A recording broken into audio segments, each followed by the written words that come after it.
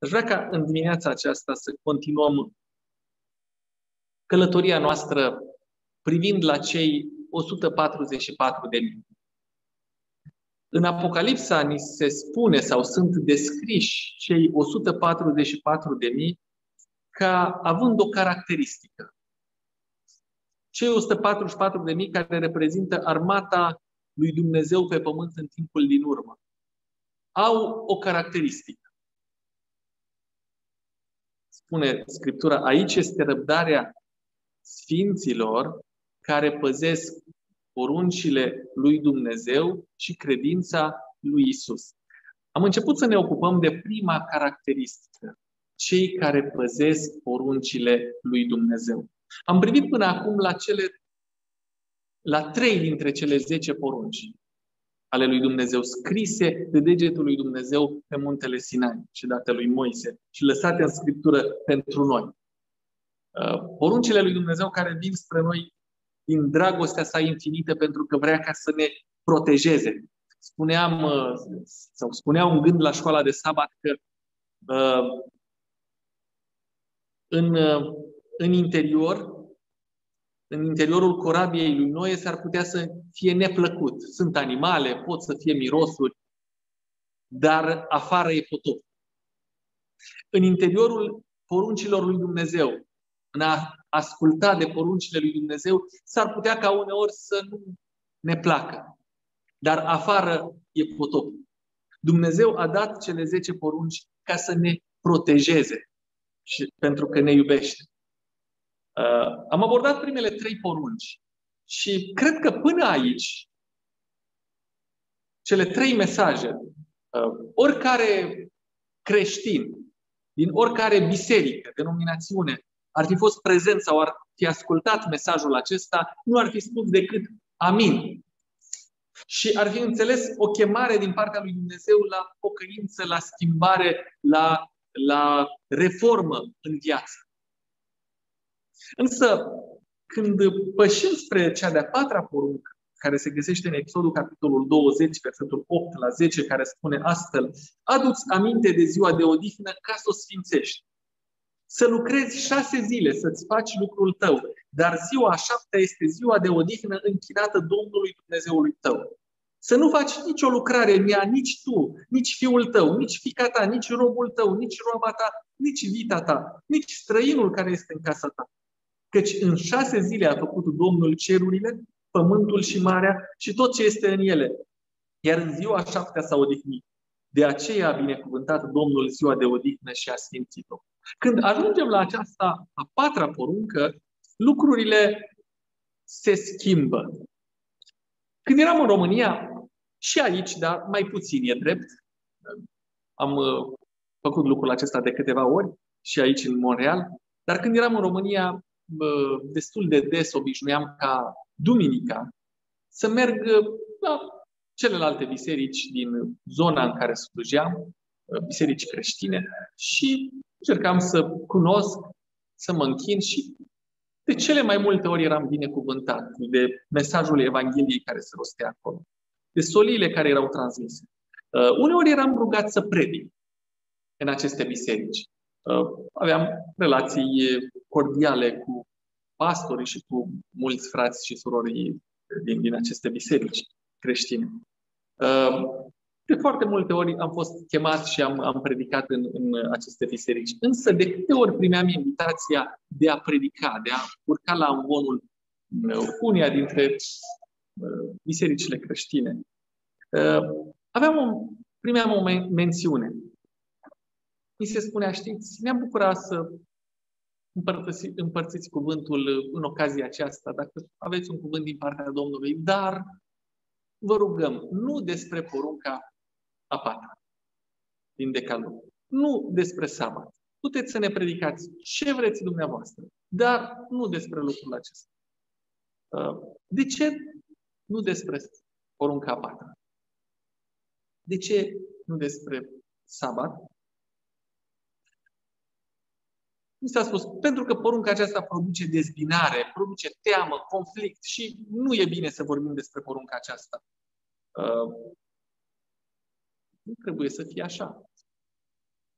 Dumnezeu nu ne-a dat poruncile să, fie, să aducă dezbinare. Nu trebuie să ne temem de ce scrie în Biblie. Să ne temem că nu ascultăm, că nu împlinim ce spune Dumnezeu în Biblie, în cuvântul Său. Dar nu ar trebui să ne fie teamă de ce scrie în cuvântul lui Dumnezeu. Lui, lui Dumnezeu, Domnului Hristos, nu i-a fost teamă să le scrie pe cele două table. Nu i-a fost teamă că va produce dezbinare. Nu i-a fost teamă să se numească Domn al sabatului Domnului Hristos. Nu i-a fost teamă. Nu i-a fost teamă să binecuvânteze și să sfințească ziua sabatului. Nu s-a temut că ar putea să producă dezbinări. Cui a fost dată această poruncă pe care tu mai am citit-o din Exodul capitolul 20, versetul 7 la 11? Cui îi este adresată?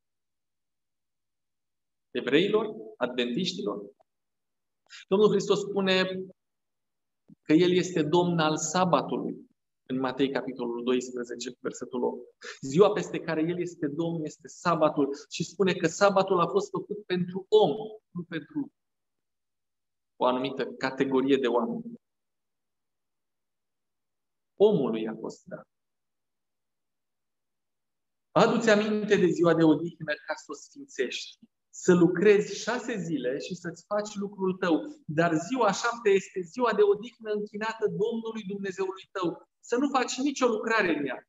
Nici tu, nici fiul tău, nici fica ta, nici robul tău, nici roaba ta, nici vita ta, nici străinul care este în casa ta. Căci în șase zile a făcut Domnul cerurile, pământul și marea și tot ce este în ele. Iar în ziua șaptea s-a odihnit. De aceea a binecuvântat Domnul ziua de odihnă și a sfințit-o. Adu-ți aminte, spune Domnul. Adu-ți aminte că Domnul a creat în șase zile cerul și pământul. Adu-ți aminte istoria creațiunii. Adu-ți aminte povestea creației din Genesa, capitolul 2, versetul 2 uh, uh, la 3. Când Dumnezeu a creat totul în șase zile, iar în ziua șaptea s-a odihnit și a binecuvântat și sfințit ziua a șaptea. Amintește-ți de Creatorul tău. Porunca aceasta ne cheamă să ne amintim de Creator, de Dumnezeu, să ne amintim că El a făcut totul. A fost valabilă în fiecare moment al istoriei și este valabilă și astăzi, poate mai mult decât altă dată. Astăzi, când trăim în momentul istoriei noastre, când umanitatea îl neagă pe Dumnezeu, și nu-L mai recunoaște ca și Creator, Dumnezeu spune, amintește-ți că eu am creat toate lucrurile. Adu-ți aminte. Rămășița, cei 144 de mii din timpul ultim al istoriei planetei Terra, își aduc aminte de Dumnezeu și îl văd ca și Creator. Respectă poruncile lui Dumnezeu, cele zece, și le recunosc ca Dumnezeu, ca și Creator. Apocalips, capitolul 14, versetul 7, în ultimul mesaj către pământeni, este luat o expresie, este luată o expresie, o parte din porunca a patra. Este o chemare la a recunoaște pe Dumnezeu ca și creator al cerului și al pământului, al tuturor lucrurilor. Astăzi, aici și mai ales în lumea în care trăim noi aici, în Canada, Dumnezeu este dat la o parte cu tot.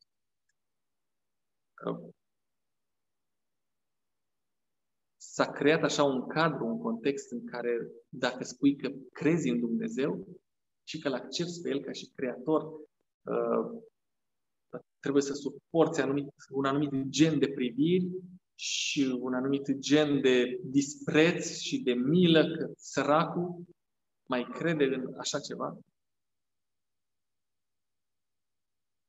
Este o chemare pentru noi astăzi. Amintește-ți de sabat, amintește-ți de Creator, amintește-ți de unde vii. Amintește-ți de mine, spune Dumnezeu, că eu am făcut toate lucrurile. Nu uita de sabat.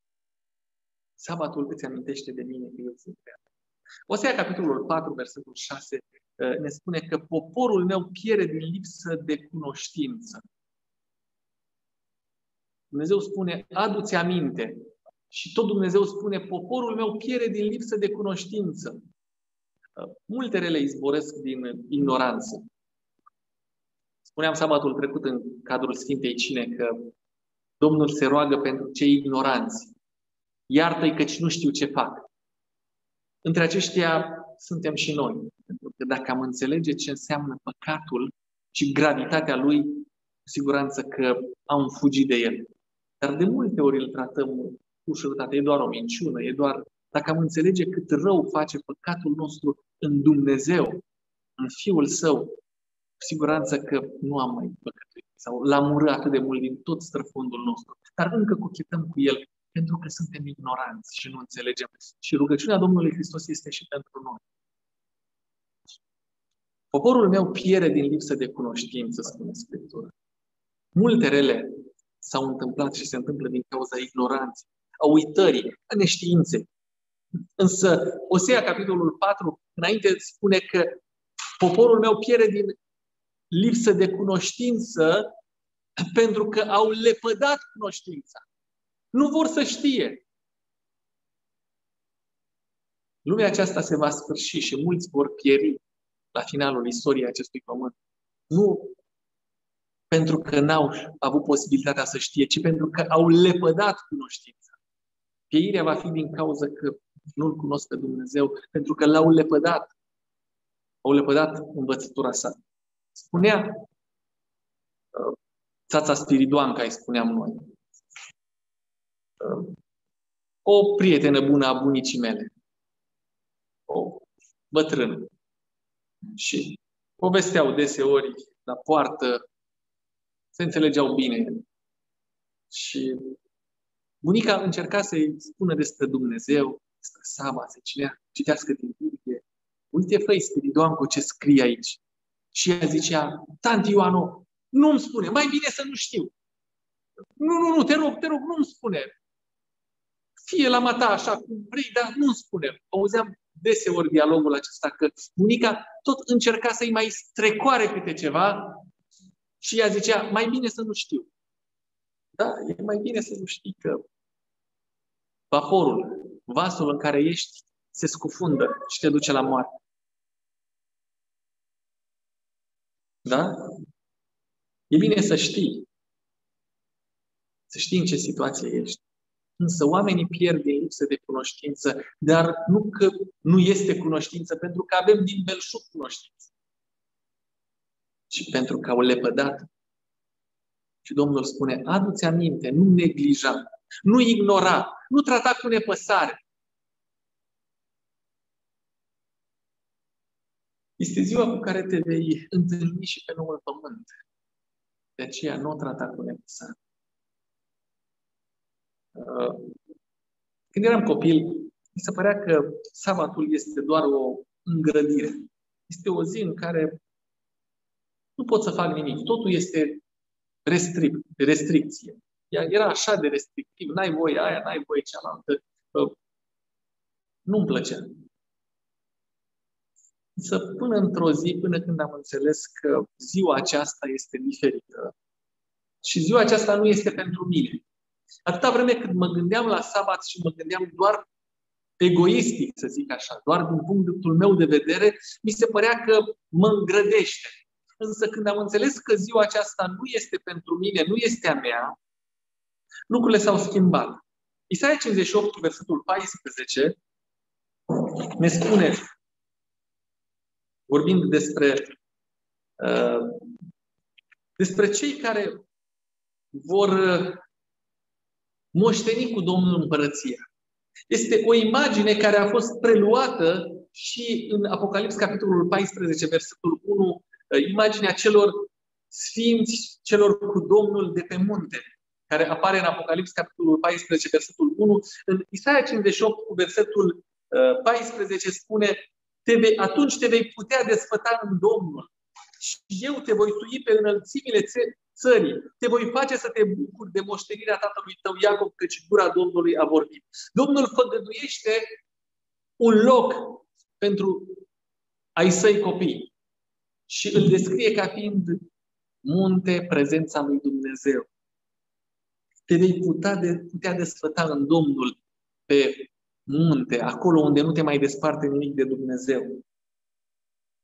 Așa cum în Apocalips 14 1 apare aceeași imagine a muntelui, a celor 144.000, a celor mântuiți. Însă, lucrul acesta are un dacă, versetul 13. Vei putea să ajungi acolo se va întâmpla lucrul acesta. Versetul 13 spune, dacă îți vei opri piciorul în ziua sabatului ca să nu-ți faci gusturile tale în ziua mea cea sfântă, dacă sabatul va fi desfătarea ta ca să slujești pe Domnul stăvindu-l și dacă îl vei cinsti, neurmând căile tale, neîndelenicându-te cu treburile tale și nedându-te la plecării. Vei fi acolo dacă astăzi vei da atenție poruncii a patra sabatului Domnului. Dacă îți vei opri piciorul în ziua sabatului ca să nu-ți faci gusturile tale.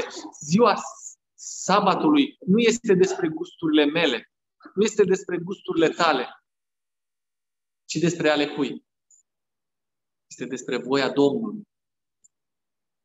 Da?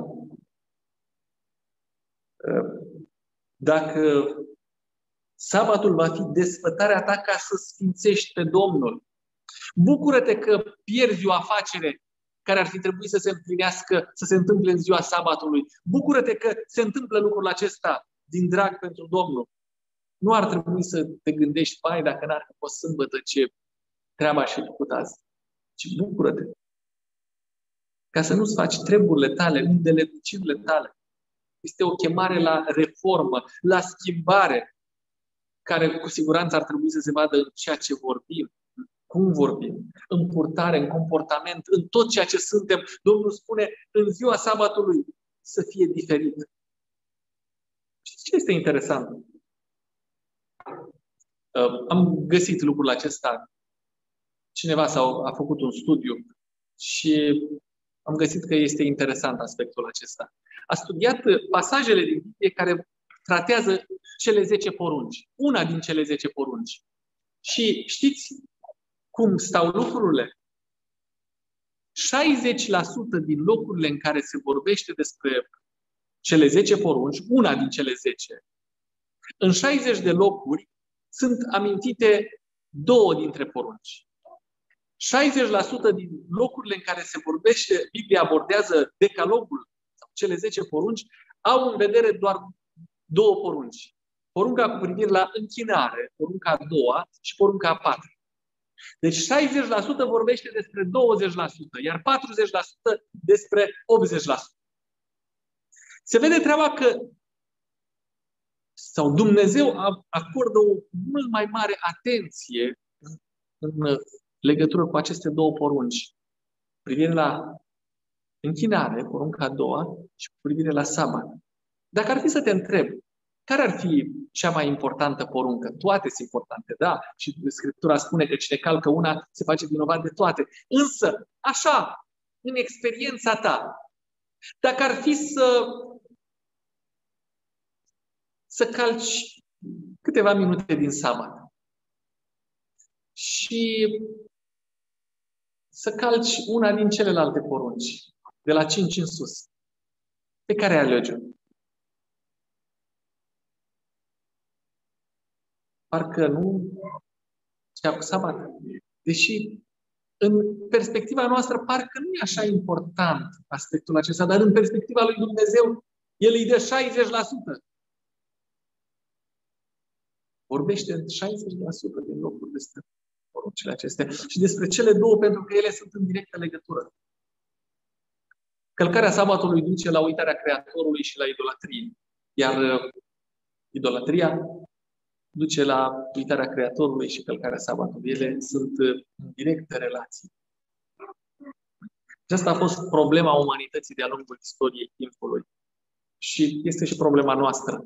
Materialismul ne pune să alergăm după lucruri și ca să avem lucruri trebuie să muncim mai mult și sacrificăm totul, venerăm lucrurile, sacrificăm totul pentru a avea lucruri. Iar uh, ca să avem lucruri, să să ne bucurăm de ele, muncim mai mult și munca aceasta de cele mai multe ori ne duce în a călca sabatul, în a ignora, de a pierde însemnătatea sabatului și de a, de a pierde relația pe care Dumnezeu vrea să o avem cu El în sabat. Da?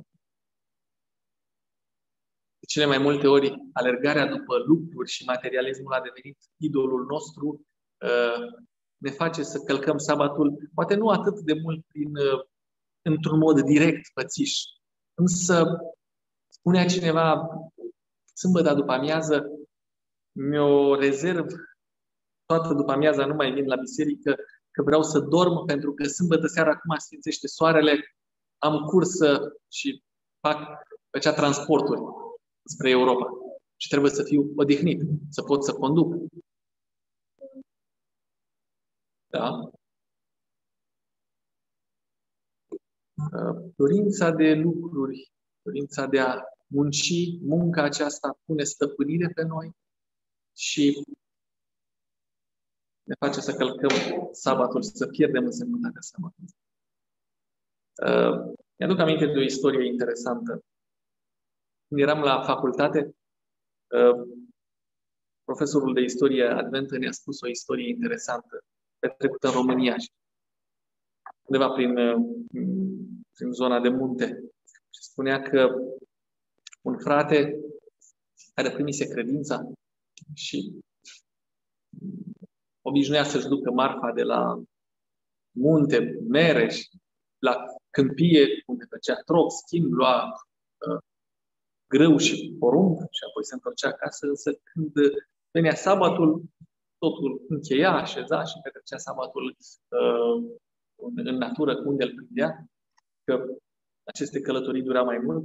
Spune că într-o ocazie, uh, când se îndrepta spre casă, mai avea doar câțiva kilometri și și-a dat seama că nu a putut să ajungă de acasă înainte de a sfințitul soarelui vineri. Și aproape la intrarea în satul lui, a descămat cai, a tras căruța pe dreapta, i-a pus să mănânce și s-a așezat omul să serveze sabatul. Și oamenii din sat treceau și tot sabatul acela. Nea Ioane, ce faci aici? Păi, n-am apucat să ajung acasă. Și este ziua Domnului, am deschis sabatul, vineri seara, cu cântare, cu rugăciune și voi continua. Păi mai aveai doar câțiva kilometri, Nea Ioane, nu să duci acasă. Este ziua Domnului și Domnul așa îmi spune.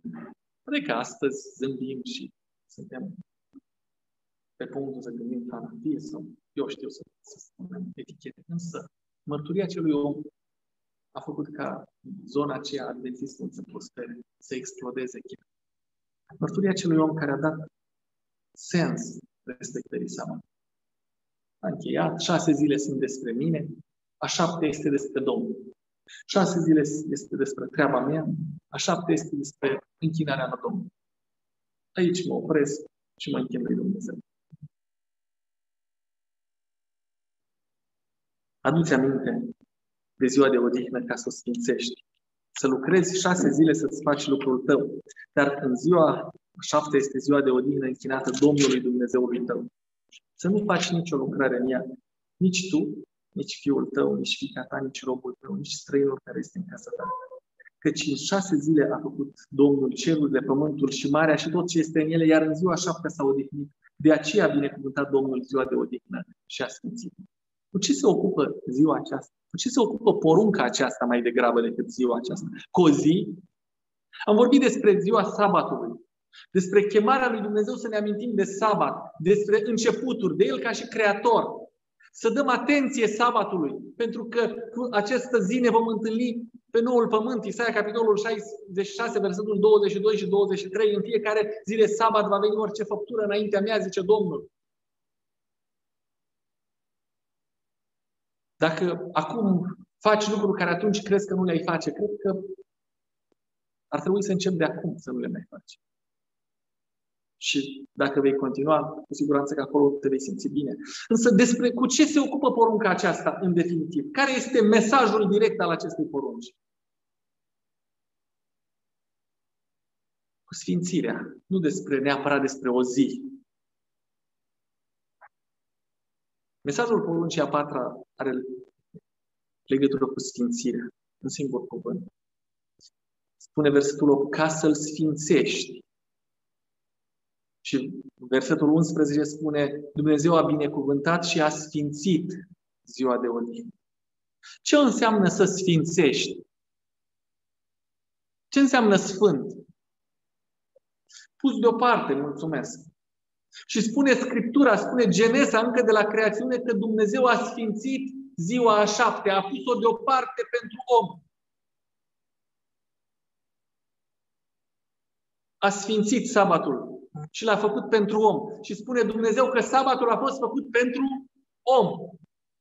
După ce a creat totul, Dumnezeu a luat o bucată de timp, o zi, și a pus-o pentru om. A dat-o omului. A sfințit-o pentru om.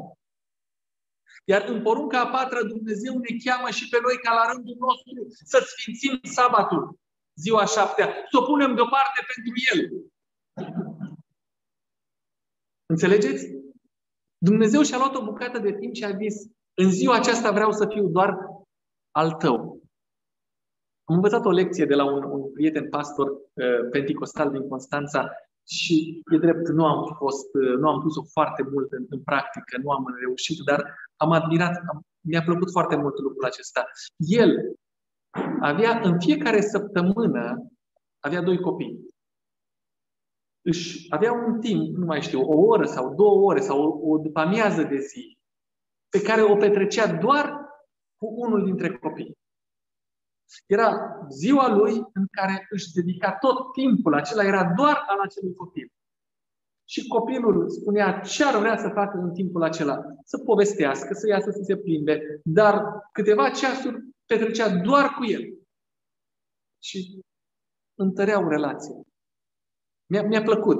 Chiar m-am întâlnit odată cu el și îmi spune, uh, ne-am salutat, dar n-am putut să stăm foarte multe de, de, de vorbă, doar întreagă ce a spus, uh, îmi pare rău, nu pot să, să, să stau mai mult pentru că e timpul lui. Acum sunt în timpul lui, sunt doar al lui și era, era cu unul dintre băieți. Dumnezeu spune, ăsta este timpul meu pentru tine. L-am sfințit pentru tine, l-am pus deoparte. Și în porunca a patra spune, pune ziua a șaptea, de pune și tu pentru mine, ca să ne putem întâlni. E logic? Dumnezeu spune, sfințește sabatul. Eu l-am sfințit și sfințește-l și tu, pune-l deoparte, ca, ca noi să putem să fim împreună. Sabatul vorbește despre relații relația lui Dumnezeu cu omul. Este un timp special al lui Dumnezeu cu omul și al omului cu Dumnezeu. Ezechiel, capitolul 20, versetul 12, spune Eu sunt Domnul care îi sfințesc. Sfințiți sabatele mele, pentru că eu sunt Domnul care vă sfințesc.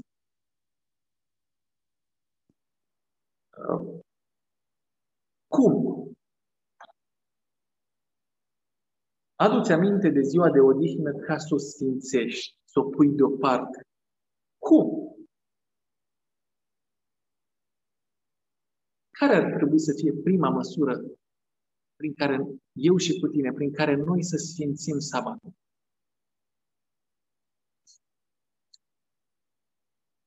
Ce spune porunca?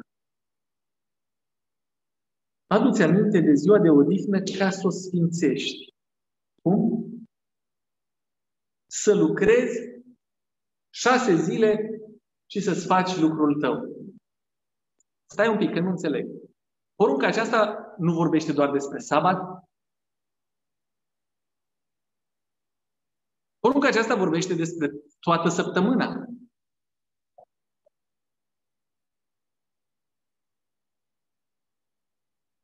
Șase zile să lucrezi, să-ți faci lucrul tău.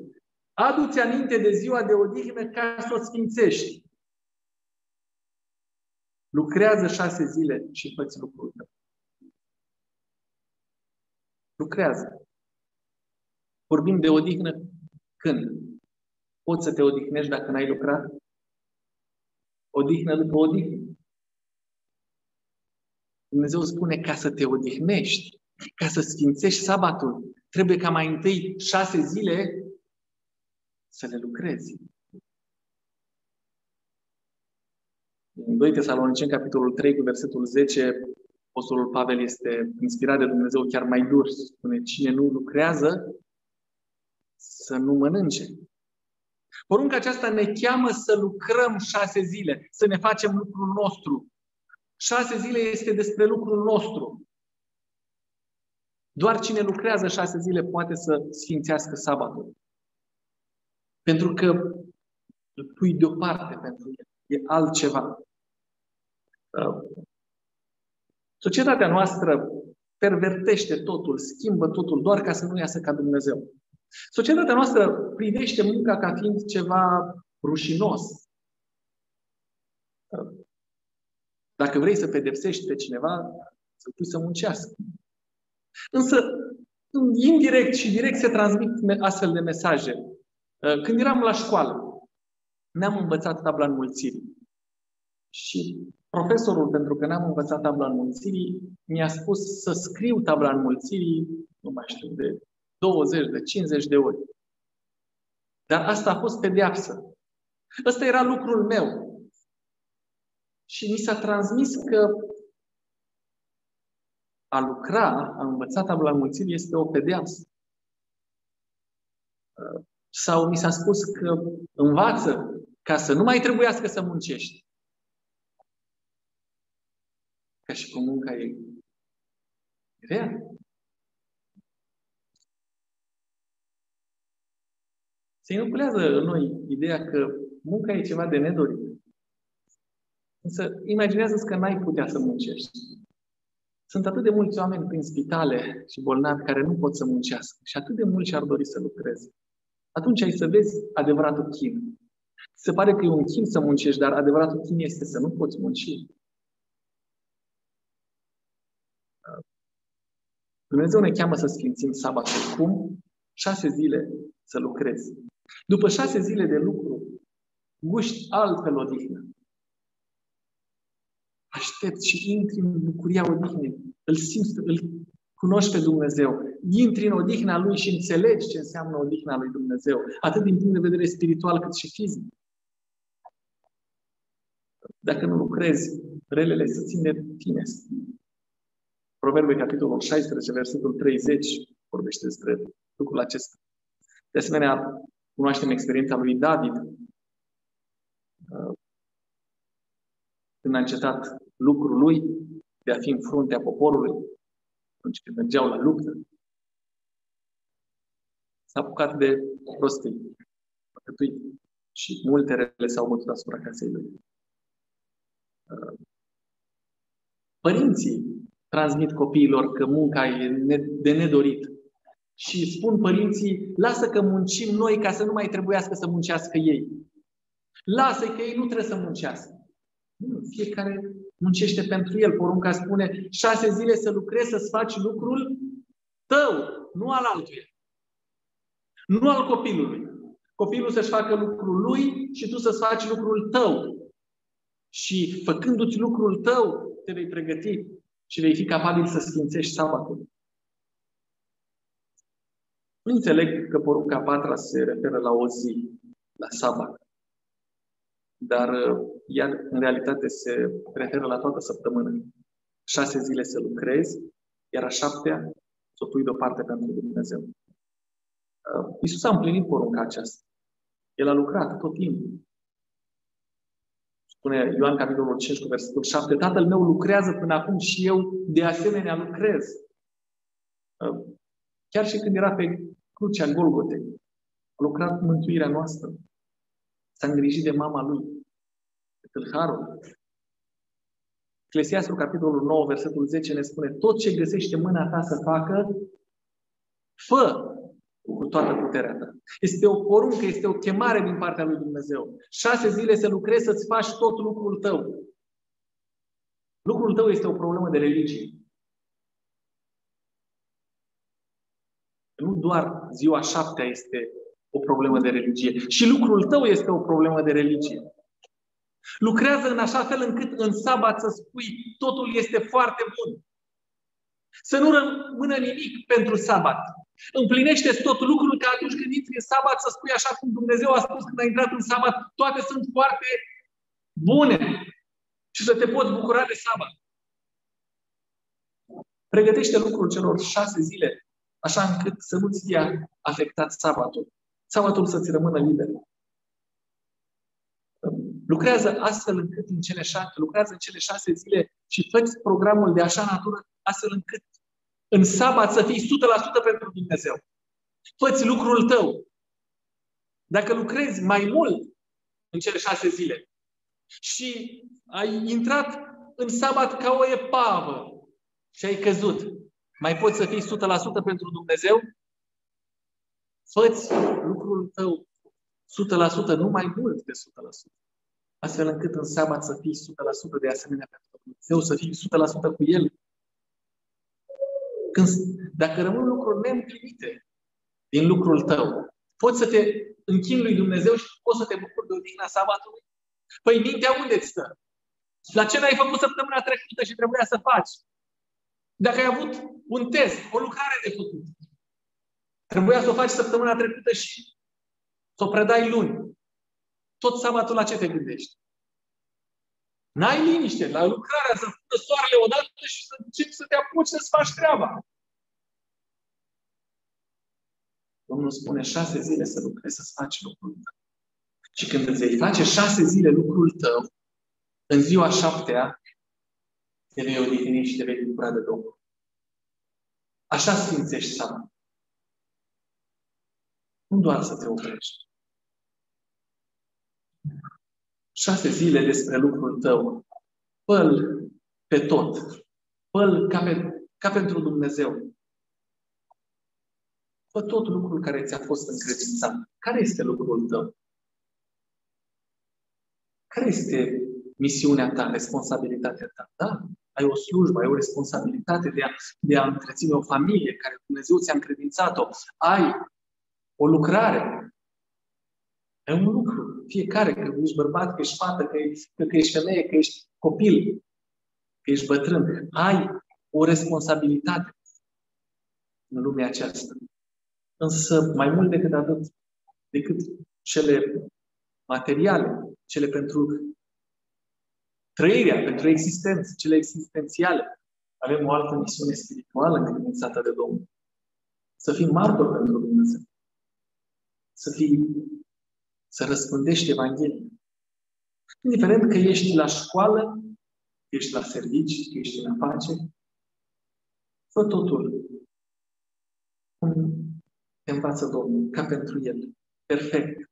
Însă, în același timp, nu uita că viața ta, cuvintele tale, că tu ești chemat acolo să fii martor pentru El. Ești o Evanghelie deschisă. Ăsta este lucrul tău. Șase zile să-ți faci lucrul tău. Pe unde ești? Du-L pe Hristos. Porunca patra ne cheamă la credincioșie în lucrul și misiunea noastră. Porunca patra condamnă lemii. Biblia o condamnă. Cine a spus să nu lucrezi în ziua șapte, a spus și să lucrezi șase zile.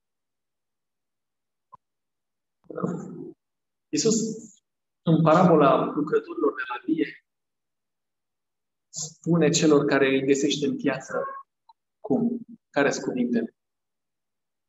De ce stai și nu lucrezi? Nu sta în piață fără lucru. Dacă n-ai de lucru, lucrează în via mea. Lucrează pentru mine. Dar lucrează șase zile să lucrezi. Cele șase zile de lucru pregătesc sau te pregătesc pentru sabat. Pentru a putea sfinți ziua aceasta pentru Dumnezeu și pentru a fi sfințit de Dumnezeu.